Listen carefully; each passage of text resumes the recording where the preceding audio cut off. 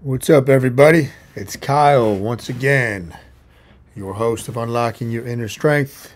I'm one of the world's leading experts with fasting, with knee injuries, with mind mapping. So I'm going to bring it for you every time I'm on here.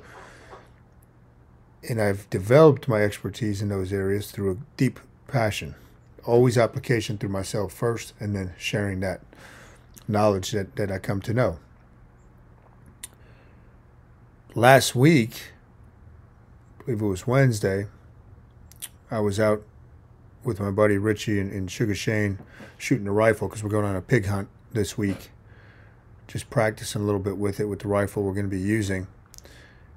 And Devin reached out that Matina, our silver lab, had got one of the chickens. Now, it's the second time Matina's got a chicken. The first time we were able to save it, we had Rip Van Winkle come over. It was a Sunday night. He's an animal dentist. And he stitched it up. We were able to save the chicken amazingly. None of the vets wanted anything to do with it. Well, this time, Braxton was coming to put the eggs away, and they left the gate open we have right here in the garage. You have the door, you know, upstairs door. The kids left it open. Devin was putting the eggs away before she knew it. Matina was outside, had one of the chickens pinned. She killed it. It's unfortunate, but it's a good lesson for the kids. We did a little ceremony up on the corner. I buried it uh, up up in the uh, the dirt up there.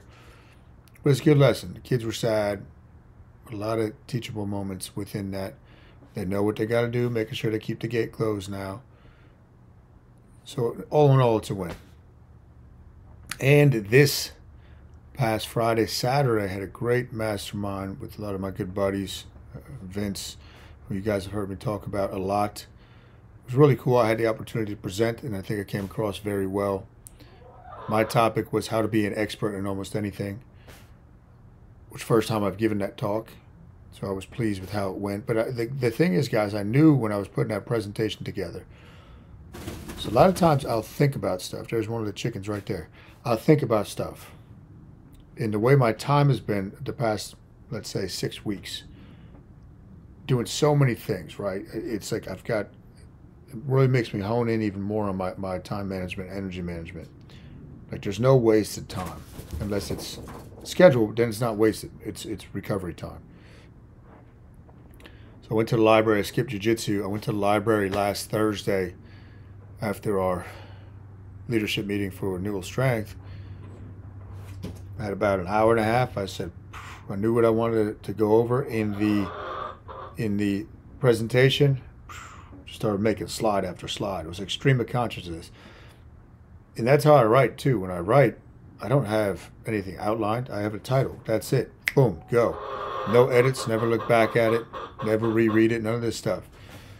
So when you tap into something you're passionate about or not,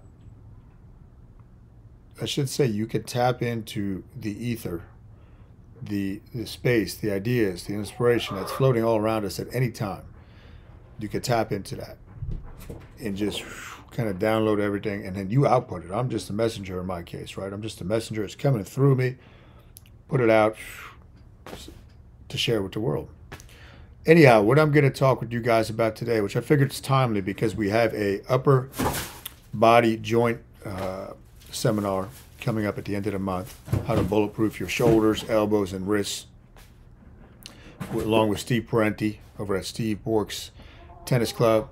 It's going to be awesome excited about my part. But we're going over injuries, joint pain.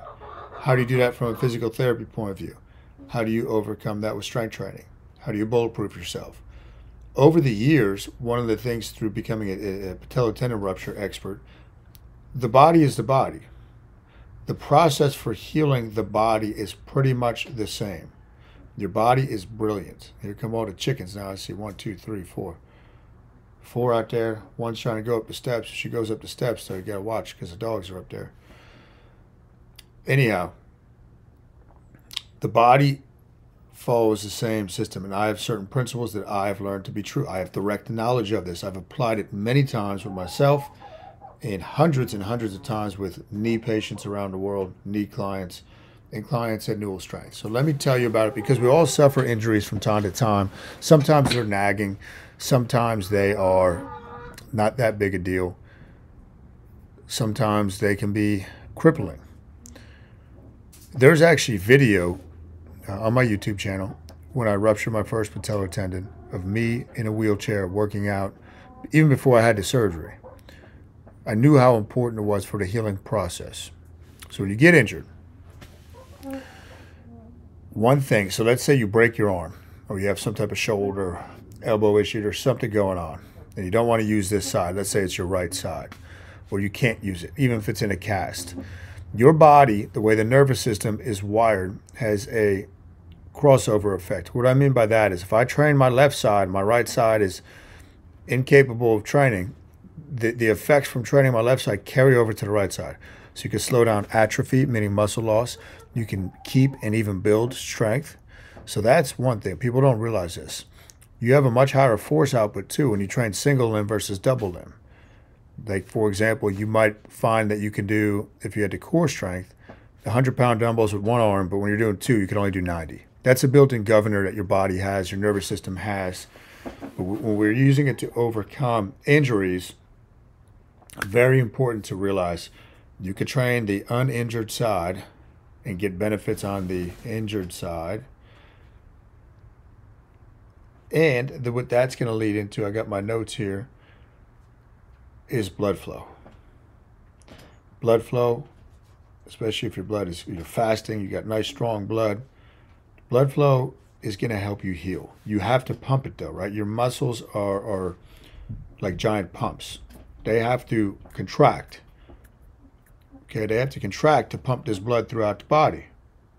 And the more blood we get going, the more blood we're going to get to the injured area, even if it's not direct training, the better we're going to heal. One thing that I know to be true a thousand percent with injuries, and again, I've tested this many, many times. Even when I ruptured my second patellar tendon, I followed all these protocols. I went exactly the opposite of what my surgeon told me, even though he became a good buddy, because I had direct knowledge and I'd gone through it once and I learned from my mistakes. Never ice an injury. You can ice for pain.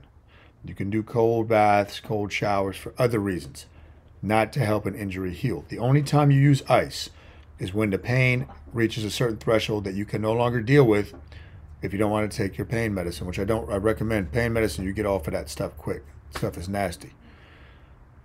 But you use heat and compression when you can on an injury. Heat and compression. Heat and compression.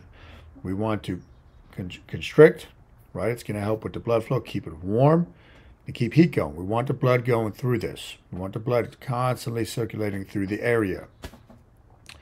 So heat and compression combined with physical movement, continuing with your workouts, it's going to allow blood to get through that area and help it with the healing process.